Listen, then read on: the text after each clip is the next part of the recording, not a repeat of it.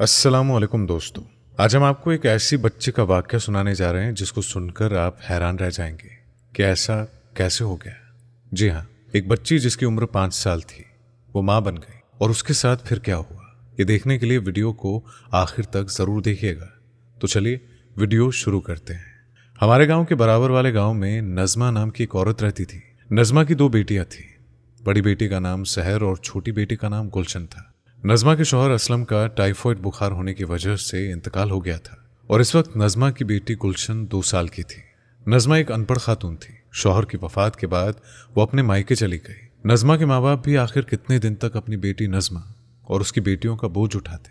तो ऐसे में उन्होंने नजमा से बात की कि, बेटा, हम तुम्हारी दूसरी शादी कर देते हैं। अल्लाह जाने हमारी कितनी ज़िंदगी है। हमारे बाद में तुम किसके दर पर जाओगी?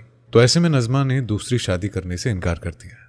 और अपनी बच्चों को लेकर अपने घर आ गई नजमा आखिर अपने शोहर की संभाली हुई कमाई भी कितने दिन तक खाती। नजमा ने हार मान ली और दूसरी शादी कर ली। नजमा का दूसरा शोहर अकरम दिल खुश था, लेकिन सख्त तबीयत का मालिक था। अकरम नजमा को अपनी बेटियों की तरह समझता था। वो उनसे बहुत प्यार करता था। अकरम की बैग की फैक्ट्री थी और नजमा भी अकरम का साथ देने के लिए घर में बैग सीने लगी। नजमा अकरम की शादी को साल हो गया था तो नजमा ने एक नन्हे शहजादे को जन्म दिया। अकरम बहुत खुश था कि अल्लाह ने मुझे बेटा अता किया है। अकरम की तवज्जो नजमा की बेटियों से कम होती जा रही थी और उसका रुझान अपने बेटे की तरफ़ हो गया था कि उसका बेटा अगर जरा सा भी रोता तो वो नजमा को डांटता कि ये क्यों रो रहा है। इसी वजह से नजमा का तकरीबन सारा ध्यान अपने बेटे की तरफ़ ही रहता था। सहर और गुलशन जब भी अपनी अम्मी को कोई काम के लिए कहती तो नजमा सहर को कहती कि, बेटी, तुम अब बड़ी हो रही हो। अपना काम खुद किया करो और साथ में गुलशन को भी देख लिया करो। इसी वजह से सहर ने तकरीबन सारा काम खुद ही करना शुरू कर दिया था। और उम्र तकरीबन बारह साल की हो गई थी। और शहर जिस बाजी के पास ट्यूशन पढ़ने जाती थी, उसकी शादी हो गई थी। शहर स्कूल नहीं जाती थी, क्योंकि नजमा जिस गाँव में रहती थी, वहाँ पर कोई स्कूल ना था। इस बार शहर का अब्बू अकरम चाहता था कि शहर आठवीं के पेपर दे, और मैं उसको गवर्नमेंट स्कूल में दाखिला करवाऊं। जब शहर की ट्यूशन वाली बाजी की शादी हो गई तो नजमा ने अकरम से शहर की बात की कि बोर्ड के पेपर करीब है। शहर की ट्यूशन का क्या करना है? तो अकरम नजमा को कहने लगा कि तुम फ़िक्र ना करो। मेरे भाई का बेटा शहर से एम ए इंग्लिश करके आया है और उसने ट्यूशन सेंटर खोलना है। मैं उससे बात करूँगा। लेकिन शहर को उधर ही रहना पड़ेगा। तो जुबेदा अपनी बेटी की पढ़ाई के लिए मान गई कि हाँ ठीक है। एक महीने की बात तो है। अकरम शहर को अपने भाई के घर छोड़ाया अपने भतीजे से बोला, यार वकाश, ये मेरी बेटी शहर है। इसकी आठवीं के पेपर होने वाले हैं। इसको तैयारी करवा दो। और जब तक पेपर नहीं हो जाते, ये यहीं रहेगी। तो वकास ने कहा कि, चचा जान, आप फ़िक्र ना करें। इनशाला शहर पास हो जाएगी। तो ऐसे में शहर अब वकास के घर में रहने लगी थी। जब सारे बच्चे अपने अपने घरों में चले गए थे तो ऐसे में शहर उदास हो जाती। वो रोज़ अपनी अम्मी से फ़ोन पर बात करती और अम्मी को कहती कि, अम्मी, मेरा यहाँ दिल नहीं लगता। मुझे यहाँ से ले जाओ। और उसकी अम्मी कहती कि, बेटा, कुछ ही दिन की बात तो है। फिर तुम्हें घर ही तो आना है। अब शहर को वकास के घर में रहने का ये फ़ायदा था कि जब भी वो चाहती अपनी पढ़ाई के लिहाज से कुछ भी वकास से पूछ सकती थी। एक दिन रात के ग्यारह बजे का वक्त था। कि शहर को हिसाब के एक सवाल की समझ नहीं लग रही थी तो वो वकास के कमरे में चली गई और उसने कहा कि वकास भाई, ये सवाल मुझे समझा दीजिए। तो वकास ने कहा कि अच्छा ठीक है। तो शहर वकास के पास जाकर बैठ गई। वकास शहर से तकरीबन बारह साल बड़ा था। तो जब शहर वकास के पास आकर बैठी तो वकास ने शहर के साथ छेड़खानी शुरू कर दी और शहर उठकर अपने कमरे में चली गई। अगले दिन शहर ने अपनी अम्मी को फ़ोन किया कि, अम्मी, मैं आपके पास आना चाहती हूँ। मैं आपके बगैर उदास हो गई हूँ। नजमा ने कहा कि अच्छा मैं तुम्हारे अब्बू से बात करती हूँ। अगले दिन फिर शहर बच्चों के होते हुए वकास के पास आ गई। तो वकास ने फिर से उसका हाथ अपने हाथ में पकड़ लिया। उसके बालों को सहलाने लगा और शहर एकदम से पीछे हट गई। तो आज रात फिर शहर ने अपनी अम्मी को कहा कि, अम्मी, अब्बू को बोले कि मुझे यहाँ से ले जाए। मेरा यहाँ दिल नहीं लग रहा। शहर जब भी अपनी अम्मी को फ़ोन करती तो अपनी अम्मी से खुलकर बात नहीं कर पाती, क्योंकि वकास उसके पास ही खड़ा होता था। नजमा ने फिर से अकरम को कहा कि, जाइए, शहर को ले आइए। वो उदास हो गई है और इतने दिन भी तो हो गए वो भी तो एक बच्ची है ना?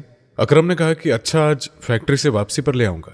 रात के वक्त शहर का अब्बू यानी कि अकरम, अभी सोच ही रहा था कि शहर को घर लेकर जाना है, कि अचानक एक इमरजेंसी हज़ार बैग का ऑर्डर आ गया। तो अकरम के मुलाजिम जो कि जा चुके थे, और वहाँ पर बस दो ही मुलाजिम मौजूद थे, जो कि फैक्ट्री में ही रहते थे। तो ऐसे में हज़ार बैग का ऑर्डर अकरम ने अपने मुलाजिमों के साथ मिलकर तैयार कराया। नजमा ने अकरम को बहुत फ़ोन किया। लेकिन फैक्ट्री में मशीनें चलने की वजह से अकरम को पता ना चल सका। और दूसरी तरफ़ वकास के घर वाले किसी शादी में चले गए थे।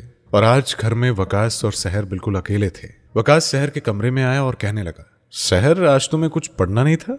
और शहर ने अपनी आँखें नीचे ही रखी।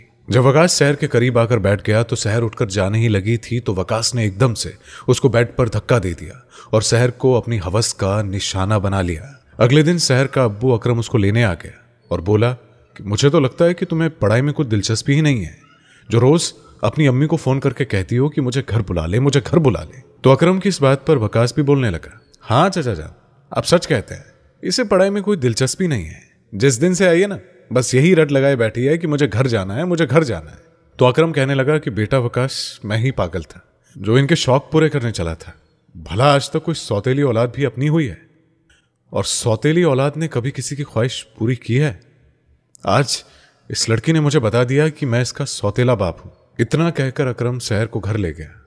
और शहर जब घर आई तो अम्मी के गले लगकर फूट फूट कर रोई और अपनी अम्मी को वकाश के बारे में सब कुछ बता दिया कि, अम्मी, पहले तो मुझे वो चार से पाँच दिन तक छेड़ता रहा और जिस दिन घर में कोई ना था, उस दिन उसने मेरे साथ ज्यादती की।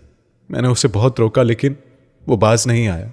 नजमा ने जब ये बात अपने शोहर अकरम को बताई तो अकरम ने फ़ौरन अपने भतीजे वकास को फ़ोन किया। कि वकास, तुमने क्या हरकत की है? तो वकास बोला कि, चचा जान, आजकल तो नेकी का कोई जमाना ही नहीं है। मैंने तो आपके साथ नेकी की थी और आपने मुझे ये सिला दिया।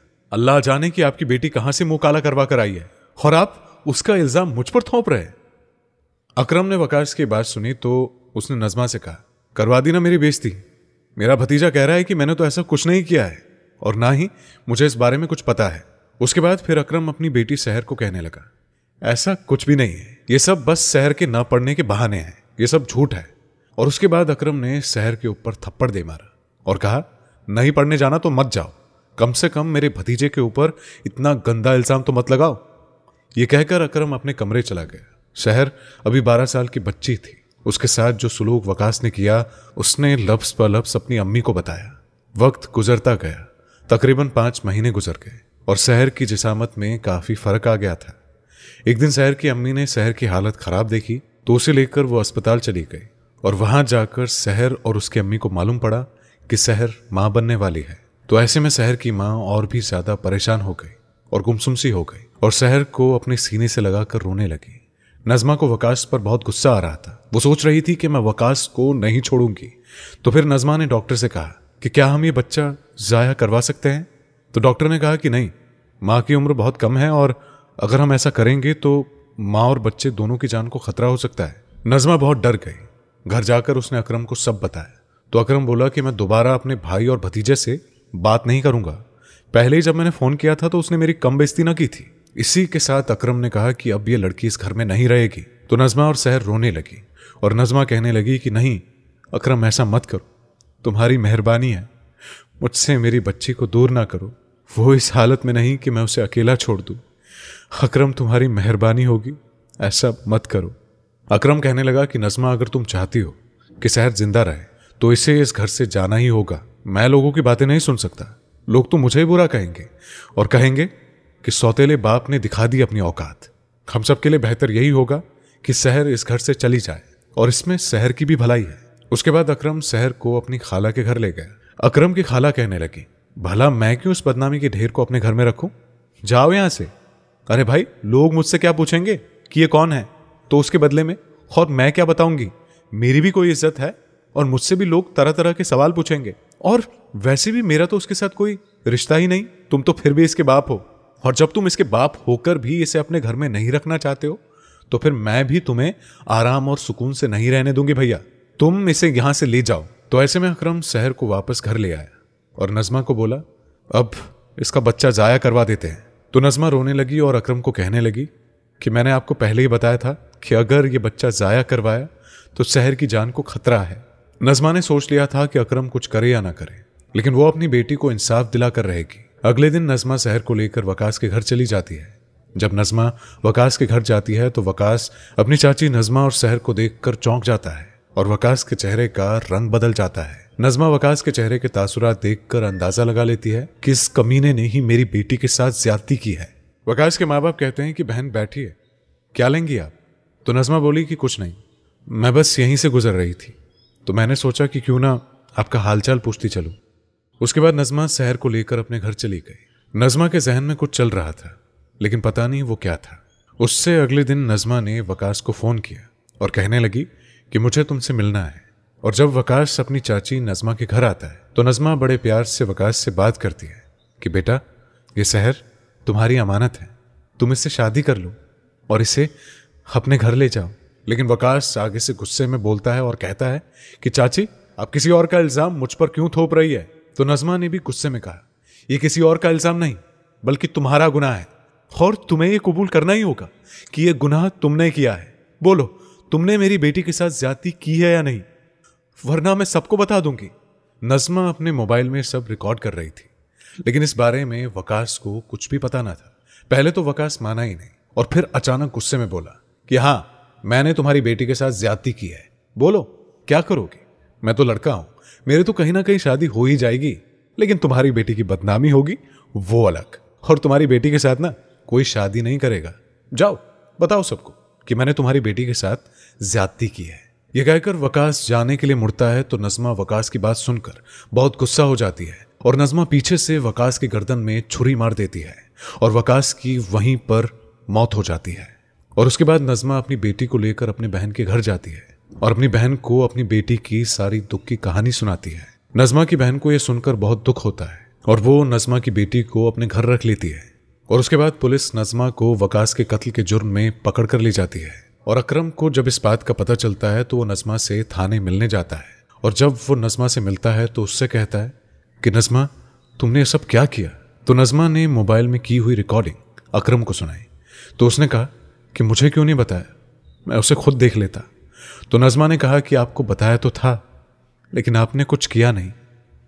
मुझे अपनी बेटी की बहुत तकलीफ़ थी, इसीलिए अपनी बेटी को इंसाफ दिलाने के लिए मैंने ये सब किया।